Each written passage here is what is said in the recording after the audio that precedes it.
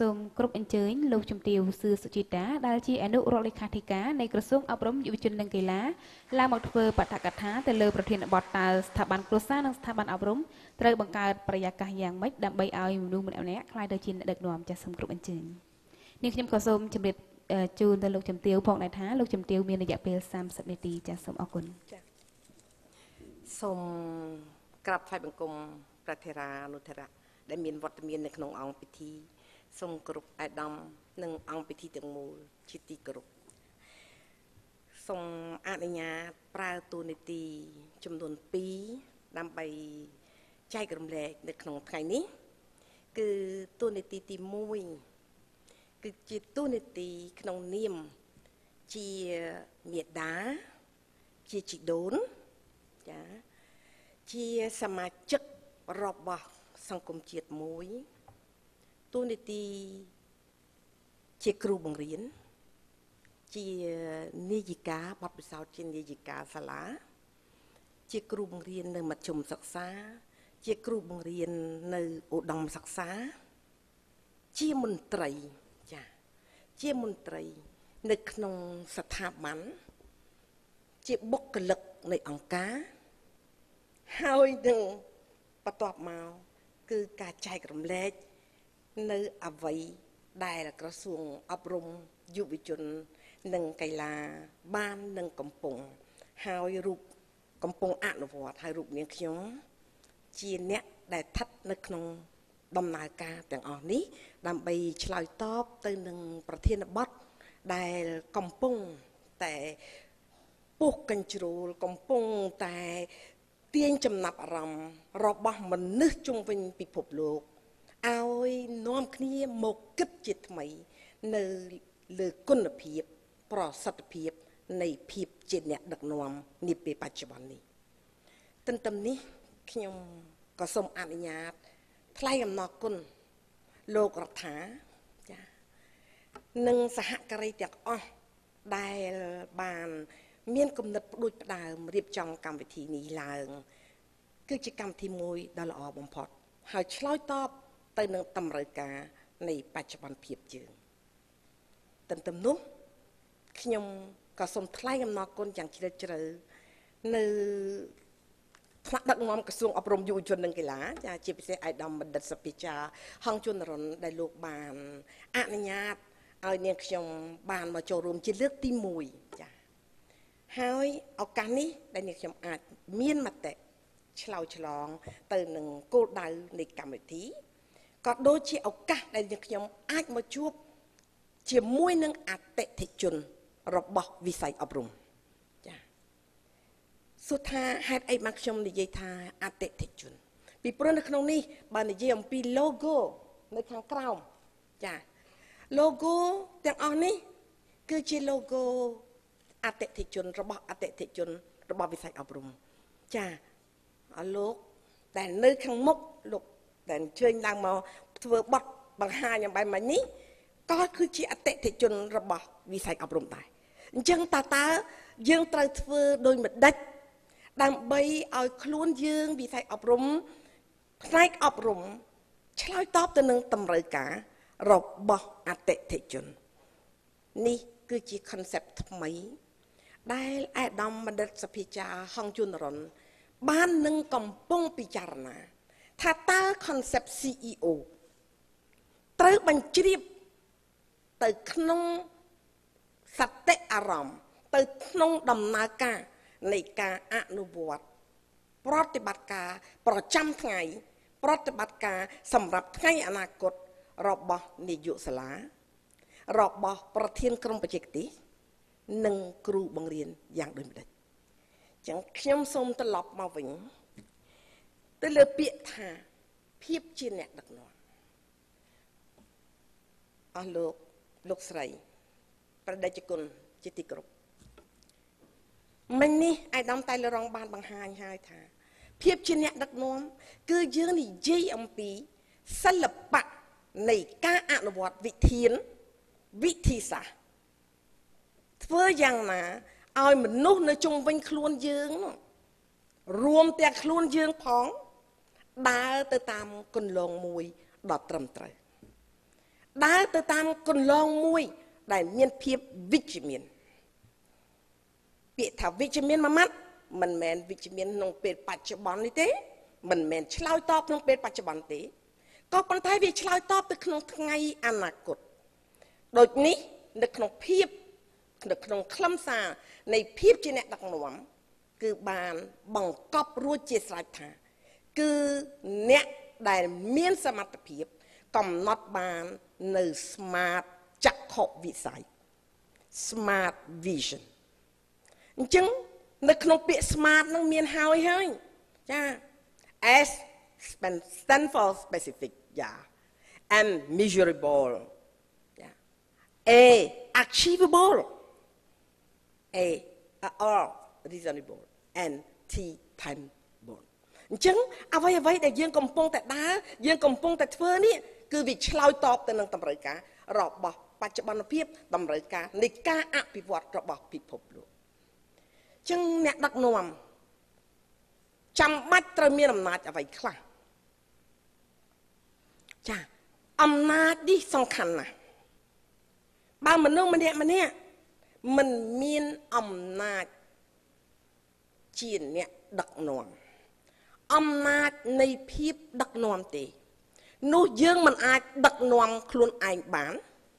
យើងមិនអាចដឹកនាំសង្គមបាន យើងមិនអាចដឹកនាំការងារឲ្យទទួលបានជោគជ័យនោះទេតើអំណាចនោះមានអ្វីខ្លះបើនិយាយអំពីអំណាចនោះមានរហូតដល់19អំណាចណាតែតូចតូចតូចតូចតូចខ្ញុំសូមអនុញ្ញាត លើកបង្ហាញជំរាប ពីអំណាចចំនួន6ជាគោលសិនចាំជួបគ្នាថ្ងៃក្រោយថ្ងៃណាចង់ជួបតាម Facebook ក៏បានចង់ជួបតាមអីក៏បានយើងនឹងទៅចែកគ្នាតទៅទៀតចាអំណាចទី1ចាដែលមនុស្សអាចคล้ายទៅជាអ្នកដឹកនាំបាន ដឹកនាំខ្លួនឯងដឹកនាំអ្នកដតីដឹកនាំការងារទទួលបានជោគជ័យបាននោះតលតែមនុស្សនោះមានអំណាចនិមិត្តរូប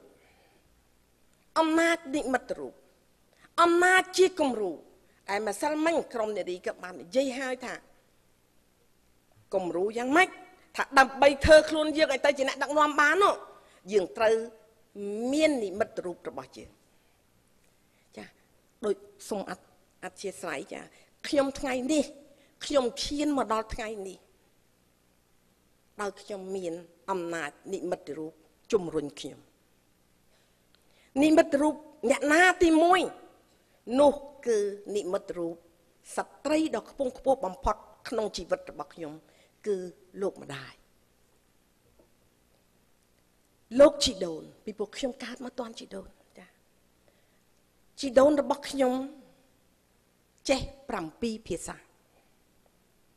លោកម្ដាយរបស់ខ្ញុំចេះ7ភាសាប៉ុន្តែលោកជីដូនលោកប៉កែជាងខ្ញុំប៉កែជាងលោកម្ដាយខ្ញុំ សត្វហើរនៅលើមេឃ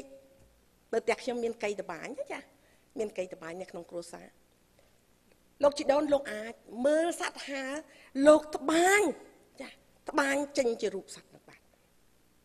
លោកម្ដាយលោកប៉កែចាក់ប៉ែជលប៉កែធ្វើមហូបហើយគំរូដ៏ល្អមួយទៀតចាដែលខ្ញុំអាចយកមកទល់ដល់ថ្ងៃនេះ ចាអ្នកខ្លះគេហៅខ្ញុំថាអឺថ្នាក់ដឹកនាំយាយជីអីគ្រប់សពណាចាពីព្រោះចង់នរណាជេរចង់នរណាថាចង់នរណារិះគន់តែជាខ្ញុំលឺក៏ប៉ុន្តែលឺយកមកពិចារណា មុននឹងខឹងគេទៅគិតខ្លួនឯងសិនថាតើខ្លួនឯងខុសអ្វីនោះហើយគឺខ្ញុំបានគំរូពីលោកឪពុករបស់ខ្ញុំចាលោកឪពុកទូមានខ្ញុំមកអញ្ចឹងនេះខ្ញុំអាចតម្រង់ខ្លួនខ្ញុំបានគំរូនៅក្នុងវិជ្ជាជីវៈចា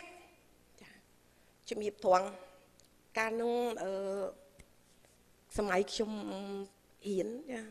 អ្នកដែលសេឡែបមួយមួយខ្ញុំតែងតែទៅជួបគេតម្រង់ខ្លួនខ្ញុំឲ្យដូចគេសួរគេធ្វើម៉េចបានបានបងឯងប្រឡងជាប់ធ្វើម៉េចដើម្បីបងឯងរៀនទេបានចាគឺយកគំរូរបស់គេ ចូលមកដល់ធ្វើការគឺនាយិកាសាលារបស់ខ្ញុំតែម្ដងចាខ្ញុំចេញធ្វើការឆ្នាំ1973អញ្ចឹងនាយិកាខ្ញុំហ្នឹងគាត់ជាគំរូរបស់ខ្ញុំចារហូតចូលមកភ្នំពេញវិញនេះហើយជាអំណាចនិមិត្តរូបអញ្ចឹងថ្ងៃនេះពេលនេះចាប់ពីពេលដែលខ្ញុំចាស់ធ្វើខ្លួនទៅជាអ្នកដឹកនាំគេខ្ញុំក៏ត្រូវតែបង្កើតនិមិត្តរូបសម្រាប់មនុស្សដទៃទៀតចាបើយើងមិនមានបង្កើតនិមិត្តរូបឲ្យគេទេនោះយើងនឹងចាំពាក្យមួយគេថាពាក្យភាសានិយាយគេថាគិងគក់លក់ថ្នាំស្រែ បើគិងគក់លក់ថ្នាំស្រែថ្នាំស្រែនឹងដាច់អត់ទេអតិថិជននឹងមិនទទួលទេនេះគឺជាអំណាចទី1អំណាចទី2គឺជាអំណាចស្របច្បាប់ legitimate power of formal power អញ្ចឹងនៅក្នុងអំណាចស្របច្បាប់នោះយើងមានហើយស្រេចហើយចាអំណាចទី1យើងកើតមកជាមនុស្សដូច្នេះ the value របស់មនុស្សមានអីខ្លះយើងត្រូវតែដឹងចា អំណាចជាមេដាអំណាចជាជីដូនថាយថលហ្នឹងវាបាន កំណត់នៅរ៉ូលនៅតម្លៃនៅទូនាទីរបស់យើងហើយអំណាចជាប្រធានផ្នែកអំណាចជាប្រធានការិយាល័យអំណាចជាប្រធានឬអនុប្រធាននាយកដ្ឋានអំណាចជាអគ្គនាយករងអគ្គនាយកអំណាចជាអនុរដ្ឋលេខាធិការរដ្ឋលេខាធិការ អំណាចជារដ្ឋមន្ត្រីអំណាចជា CEO គឺយើងមាន job and task description ហើយអស់ហើយអញ្ចឹងអ្នកដែលចូលទៅកាន់តំណែងហ្នឹងបាទបើនៅក្នុងរដ្ឋាភិបាលមានត្រាក្រហមមួយមិនមែនក្រហមធម្មតាទេក្រហមពីប្រធានស្ថាប័នក្រហមពីព្រះរាជាចាព្រះមហាក្សត្រដ៏ឧត្តមឧត្តមថែមទៀតនឹងហៅថាអំណាចស្របច្បាប់អញ្ចឹងអំណាចហ្នឹង បើយើងធ្វើខុសអំណាចហ្នឹងគឺជាมันអាចខ្លាយទៅជាអ្នកដឹកនាំបានទេចាអញ្ចឹងយើងមានអំណាចហ្នឹងយើងអាចធ្វើការអំណាចហ្នឹងបានត្រឹមត្រូវអំណាចទី3សំខាន់ឆេងនោះគឺអំណាចជំនាញអំណាចជំនាញការអំណាចបច្ចេកទេសអស់លោកលោកស្រីបដិជគុណអង្គពិធីទាំងមូល ដែលធ្លាប់ឮសូរមន្ត្រីធ្ងោទេតែសាខ្ញុំបတ်ពិសោធន៍របស់ខ្ញុំអ្វីដែលខ្ញុំរៀបរាប់មិញហ្នឹងគឺជាឋានៈបတ်ពិសោធន៍ការងាររបស់ខ្ញុំលំហអញ្ចឹងចាលំហទងំឡើងមកដល់កន្លែងហ្នឹងចឹងដែលលឺសោទេលឺសោថាអើយទុកអីមិនស្មើទុកធ្វើការជាមួយប្រធានលងងជាមួយប្រធានឆ្លាតជ្រុល ជាមួយនឹងប្រធានភ្នែកខ្វាក់ចាសំទោសអឺដោយខ្ញុំមានប័ណ្ណពិសោធន៍ជាកម្មការងារជាប្រធានសវនកម្មផ្ទៃក្នុងរបស់ក្រសួងអប់រំចាខ្ញុំមានបទពិសោធន៍ហ្នឹងដល់ហើយខ្ញុំ deal ជាមួយនៅខាងក្រោមច្រើនម្ល៉េះពេលដែលធ្វើ management audit គឺសំឡេងនឹងវាលឺសូរមកដល់តិចខ្ញុំចានេះ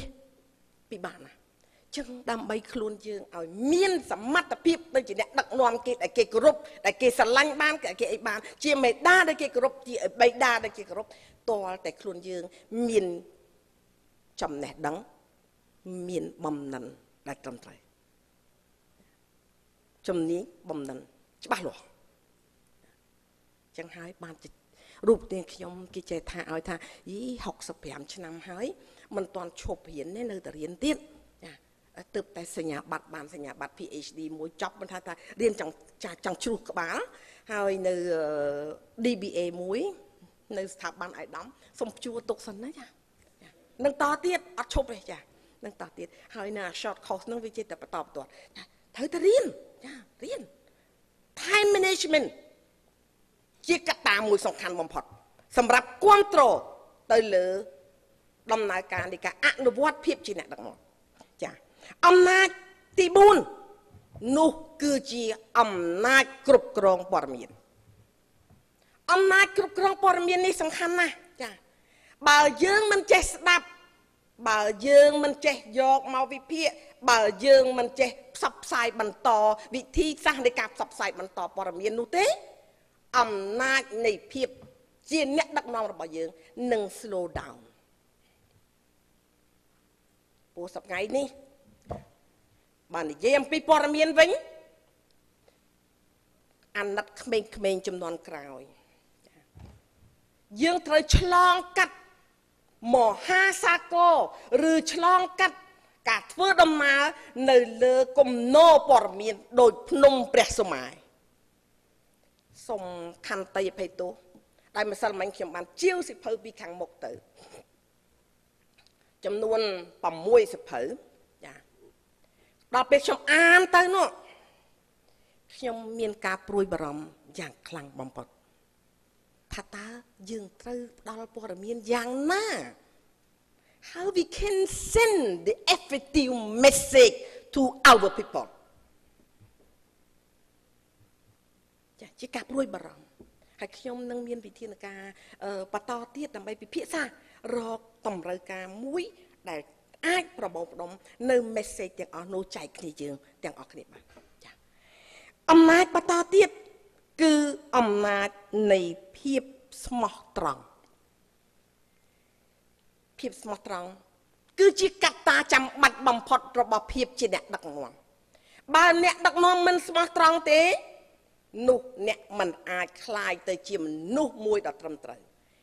มันអាចคลายជាមេគេដែលគេគោរព มันអាចคลายទៅជាមេដែលគេស្រឡាញ់និងអាចបូជាជីវិតបូជាកម្លាំងកាយបញ្ញាដើម្បីខ្លួនយើងទេស្មោះត្រង់មិនមែនស្មោះត្រង់តែជាមួយគេទេត្រូវស្មោះត្រង់ជាមួយខ្លួនឯងដែរហើយម្សិលមិញយើងបានទៅចែកគ្នាច្រើនណាស់ចាពីពាក្យថា self awareness យើងអាចធ្វើ self awareness ការវាយតម្លៃ មកលើខ្លួនយើងថាត្រូវឬខុសបានទាល់តែខ្លួនយើងដឹងថាអ្វីត្រូវអ្វីខុសបើយើងមិនដឹងអ្វីត្រូវអ្វីខុសផងយើងធ្វើជាអ្នកដឹកនាំយ៉ាងដូចម្ដេចដឹកនាំខ្លួនយើងក៏អត់បានដែរសំទោសនេះគឺជាវិធីសាស្ត្រមួយ ដែលខ្ញុំទទួលបានជោគជ័យក្នុងការបណ្ដុះកូនរបស់ខ្ញុំនេះខ្ញុំបានជំរាបអញ្ចឹងថាខ្ញុំមានកូនបកើតតែ3នាក់ទេចា កូនជាប់សាច់យាវ4នាក់កូនចិញ្ចឹម8នាក់ហើយនៅបច្ចុប្បន្ននេះគំរូនេះត្រូវបានគេទាំងអស់គ្នាយកទៅអនុវត្តជាមួយកូនកូនគេទទួលបានជោគជ័យទទួលបានជោគជ័យអញ្ចឹងភាពស្មោះត្រង់នេះសំខាន់ណាស់សំខាន់ទៅលើយើងបង្កើតនៅ believe believe របស់ ខ្លួនយើងទៅលើខ្លួនយើងអ្នកដតីមកលើខ្លួនយើងបើគេជឿយើងទើបគេដើរជាមួយយើងបើគេមិនជឿយើងទេប្របាទទៀនចាស់ទៀន Yes sir yes mom but just in front of you behind you មានឈួត Yeah ដូច្នេះយើងត្រូវប្រើអំណាចនឹងឲ្យច្បាស់លាស់បើយើងប្រើអំណាចនឹងមិនត្រឹមត្រូវទេ បរាជ័យភាពរបស់យើងនឹងធ្លាក់ចុះបាត់នឹងនឹងនឹងកើតមានឡើងមកលើយើង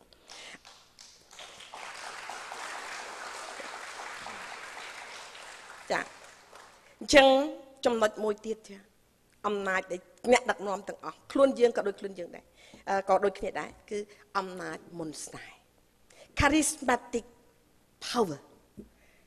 អញ្ចឹងខ្លួនយើងត្រូវការស្អាតទេថ្ងៃហ្នឹងចាដូចខ្ញុំអញ្ចឹង ចំណាស់នឹង65ហើយសុំទោសជាបត្រង់ចុះព្រលឹមឡើង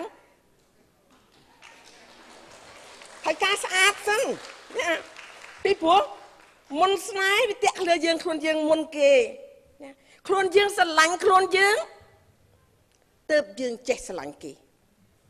ហើយឲ្យគេស្រឡាញ់យើងដែរអញ្ចឹងថ្នាក់ដឹកនាំការបង្កើត charismatic នេះ អាចឆ្លងកាត់នៅវិធីសាស្ត្រច្រើនណាស់ចាយើងខ្ញុំមិនមែនជាអ្នកឧទ្ទិសនាមភាពជាអ្នកដឹកនាំទេក៏ប៉ុន្តែសូម complete ឲ្យសោះ management work around is the way that can support you to success in leadership role within the organization ចាសូមជម្រាបថាអឺ management work around នេះសំខាន់ណាស់ ចឹងខ្ញុំសូមឈានដល់ចំណុចទី2តែម្ដងនេះជាការសូមបញ្ចប់ការចូលរួមគ្រប់គ្រងអ្វីដែលលោករដ្ឋាភិបាលរៀបចំខ្ញុំសូមចូលថាតើក្រសួងអប់រំបានគិតពីបញ្ហានឹងអស់នឹងដែរឬទេសូមជម្រាបថាក្រសួងអប់រំបាននឹងកំពុងយកចិត្តទុកដាក់ជាទីបំផុត ក្នុងការបង្កើតនិងបង្កើនគុណភាពប្រសិទ្ធភាពនៃភាពជាអ្នកដឹកនាំ នៅក្នុងកម្រិតកម្មវិធីសិក្សា នៅតាមសាលារៀនគ្រប់ភូមិសិក្សា តាំងពីយើងទាំងអស់គ្នាបានជ្រាបហើយថា យើងសប្ងៃនេះយើងមានគោលនយោបាយចាគោលនយោបាយរបស់យើងមាន តាំងពីគោលនយោបាយកុមារតូចតើកុមារតូចគិតចាប់ពីពេលណាមកថាកុមារតូចគិតចាប់តាំងពីថ្ងៃដែល Fortus ចាអឺសំសំទោសខ្ញុំភ្លេចភាសាខ្មែរឡើយណាអឺកំណក់កំណក់ឈាមចាកំណក់ឈាមមួយកោសិកានៃកំណក់ឈាមមួយចាប់ពពោះអញ្ចឹងតាំងពីថ្ងៃហ្នឹងមកនោះក្រសួងអប់រំបានគិតហើយរាជរដ្ឋាភិបាលបានគិតរួចស្រេចហើយថា គឺជាកំណកំណើតនៃកុមារតូចកើតឡើងហើយ សួរថាតើគោលនយោបាយហ្នឹងឆ្លើយតបទៅនរណាខ្លះថាមិនមែនឆ្លើយតបតែក្នុងសាលារៀនទេឆ្លើយតបទាំងទៅការគ្រប់គ្រងដល់គ្រួសាររបស់កុមារតូចនឹងតើពេលតងន់នឹងត្រូវមានអារម្មណ៍បែបណាតើពេលតងន់នឹងធ្វើម៉េចដើម្បីឲ្យកូននឹងឆ្លាតតាំងពីអាហារូបត្ថម្ភតាំងពីការអប់រំនៅក្នុងពោះហើយសូមជម្រាបថាការអប់រំនេះសំខាន់ណាស់នៅក្នុងពោះ ខ្ញុំមានបទពិសោធន៍នៅក្នុងនឹងខ្ញុំអានខ្ញុំរៀនពីដើមមកចាពីព្រោះយើងពីដើមយើងរៀនខាងផ្នែកចិត្តវិទ្យាអេដាមបានមានប្រសាសន៍ហើយចាចិត្តវិទ្យាអីខ្លះចិត្តវិទ្យា Fortis Development ចិត្តវិទ្យារបស់ bébé ចាចិត្តវិទ្យារបស់ enfant ចិត្តវិទ្យារបស់ teenager adolescence ចិត្តវិទ្យារបស់ adult ចា adult អញ្ចឹងអឺ វា development វាចាវាអញ្ចឹងដូច្នេះបើមានចិត្តវិទ្យារបស់មនុស្សតាមអាយុប៉ុណ្ណឹងវាត្រូវតែមាន didactic pedagogy didactic អញ្ចឹងការអប់រំវាទៅតាមអាចកម្រិតអាយុនឹងដែរនេះហើយដែលក្រសួងអប់រំបានអនុវត្តទៅលើកុមារតូចតើពេលទងន់ធ្វើមិនអីមិនខ្លះកើតបែបណាអីបែបណាអញ្ចឹងកូនបែបណាទងំដល់ធំចាចូលសាលាមត្តេយ្យយើងសប្ងៃនេះ មានគោលនយោបាយអភិវឌ្ឍមត្តេយ្យហើយអស់អង្គពិធីទាំងមូលក៏បានជ្រាបហើយដែរថាតើគុណភាពសាលាមត្តេយ្យពីថ្ងៃមុនសូមអនុញ្ញាតប្រើថ្ងៃមុនចុះណាចាថ្ងៃមុនហើយនឹងពេលនេះតើខុសគ្នាបែបណាដែរតមកទៀតខ្ញុំសូមថានិយាយអំពីគោលនយោបាយគឺយើងមានគ្រប់ចាបច្ចុប្បន្នយើងមានគោលនយោបាយថ្មីមួយទៀត ដែលឆ្លើយតបទៅនឹងភាពជាអ្នកដឹកនាំនេះចាគឺគោលនយោបាយ STEM and STEAM ចាអង្គពិធីទាំងមូលចាបានជ្រាបហើយថា STEM គឺជាកន្សោមនៃពាក្យកាត់ S stand for science វិទ្យាសាស្ត្រ T technology បច្ចេកវិទ្យា E engineering M mathematics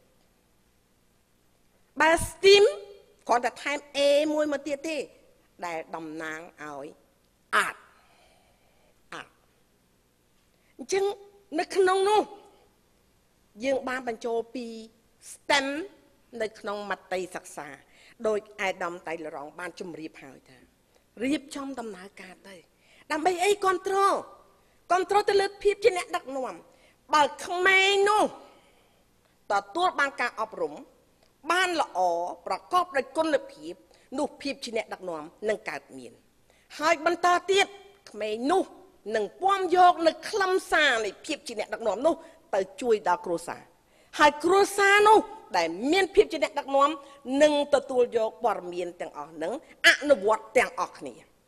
ដោយបច្ចុប្បន្នអញ្ចឹងរូបនាងខ្ញុំចង់ទៅវ៉ាកង់ចង់ទៅវិស្មកាល នៅអឺសិង្ហបុរី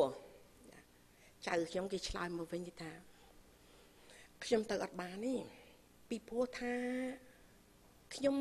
ភារៈរបស់ខ្ញុំត្រូវប្រឡងបញ្ចប់អញ្ចឹងខ្ញុំត្រូវអានសភៅច្រើនបន្តិចចាអាចៅ7ឆ្នាំខ្ញុំហ្នឹងគឺថាវារេក្លាមកូនណារីតា ចាវារេក្លាមចឹងអញ្ចឹងដំណើរការដែលខ្ញុំប្រងទៅហ្នឹងយើងត្រូវតែសម្របមកវិញត្រូវនៅជួយគាត់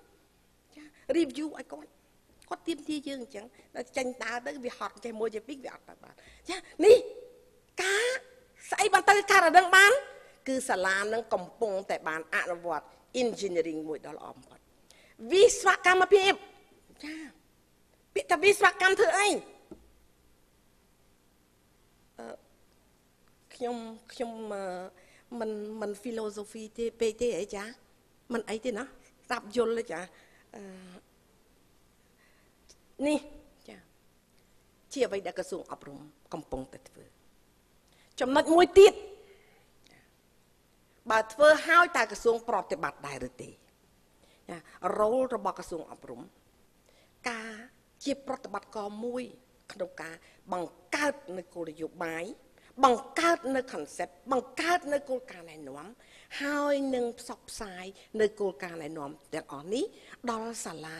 ដែលត្រូវអនុវត្តហើយខ្ញុំសូមនិយាយអំពីកម្រិតនៃពីមធ្យមសិក្សាចុះមកសិនចុះចាបច្ចុប្បន្ននេះយើងបានអនុវត្តការងារទាំងអស់នេះតាមរយៈការ control ចា evaluation ហើយយើងកំពុងតែត្រូវការបំផុតនៅការគ្រប់គ្រងពីអស់លោកលោកស្រីចាលោកលោកស្រីត្រូវតែជួយគ្រប់គ្រងយើងខ្ញុំពីព្រោះថាដើម្បីបង្កើត concept CEO បាននៅក្នុងការងារអប់រំនៅតាមសាលាគ្រឹះស្ថានសិក្សាដើម្បីជួយដល់គ្រួសារផងជួយដល់សង្គមផងសូមជួយគ្រប់គ្រងរបស់យើងយើងកំពុងតែបង្កើតគោលនយោបាយមួយគឺហៅថា passionate teacher ថាតើយើងត្រូវធ្វើបែបណា យើងខ្ញុំសង្ឃឹមនឹងជឿជាក់ថាលោកលោកស្រីនឹងជួយគ្រប់គ្រងដល់វិស័យអប់រំនៅក្នុងផ្នែកទាំងអស់នេះហើយពេលនេះនាងខ្ញុំសូមថ្លែងអំណរគុណជាថ្មីដល់ក្រុមហ៊ុនអឺលោករដ្ឋាចានិង sponsor ទាំងអស់ដែលបង្កើតនៅកម្មវិធីនេះឡើងសូមទទួលបានជោគជ័យបន្តទៀតហើយ ផ្ដួចផ្ដើមនៅគំនិតថ្មីថ្មីទៀតដើម្បីជួយក្រសួងអប់រំហើយខ្ញុំជឿជាក់ថាអឺកម្មវិធីនេះដែលមានលោករដ្ឋានៅទីនេះយើងនឹងបង្កើតទៅជាសម្ព័ន្ធមួយដើម្បីរករិះរកមធ្យោបាយ ជួយដល់ភាពជាអ្នកដឹកនាំជូនដល់ប្រជាជនរបស់យើងហើយក៏សូមអនុញ្ញាតគោរពថ្លែងអំណរគុណនិងគោរពជូនពរដល់បដិជគុណ និងអង្គពិធីទាំងមូលសូមជួបតែនឹងសំទោសមានអត់មានសាសនាក្រៅទេណាចាសូមជួបតែនឹងពុទ្ធពរ5ប្រការនៃព្រះសម្មាសម្ពុទ្ធនៃយើង គឺអាយុវណ្ណៈសុខៈពលៈបដិពានអ្នកគ្រប់គ្រប់គ្នាតរៀងទៅកុំបីឃ្លៀងឃ្លានឡើយសូមអរគុណដើម្បីមោទនភាពក៏